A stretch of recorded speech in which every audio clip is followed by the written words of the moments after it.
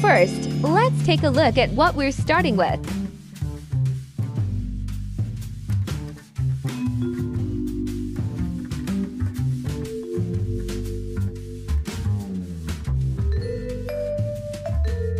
Next, extract the plugin and move the content into the project. After that, add the lobby controller to your lobby and copy what I'm doing.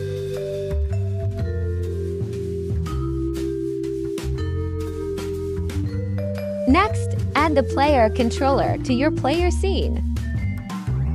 This group is for synchronizing properties, and this group is for synchronizing functions.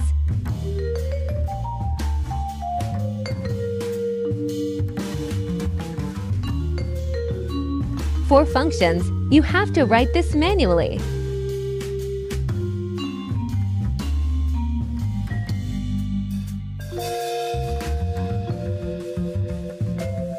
Now add the world controller to your world scene and do the following.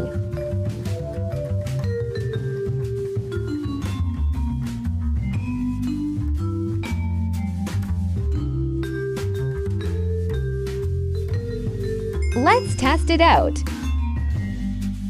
Don't leave yet. We are going to talk about the other features like the leaderboard and timer.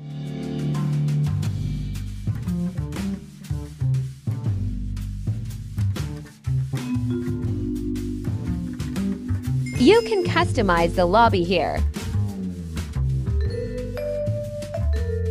You can add custom names to the room player by editing this.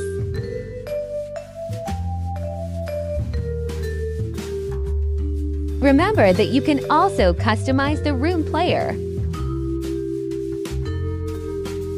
These are all the functions you can use on each controller. Each controller has signals that you can manipulate. Also, I made a leaderboard and a timer that you can use for free.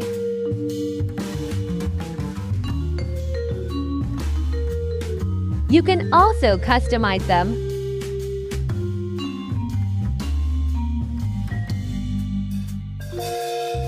One last test.